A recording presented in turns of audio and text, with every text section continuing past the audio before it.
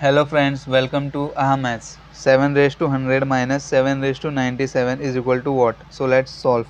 7 raised to 100 minus 7 raised to 97 is equal to 7 raised to 100 can be written as 97 plus 3 minus 7 raised to 97 which is equal to 7 raised to 97 into 7 raised to 3 minus 7 raised to 97 because when a raised to m plus n it can be written as a raised to m into a raised to n which is equal to here we will take 7 raised to 97 as common. What will remain under the bracket? 7 raised to 3 minus 1 which is equal to 7 raised to 97 into 343 minus 1 which is equal to 7 raised to 97 into 342 which is equal to 342 into 7 raised to 97 which is our right answer.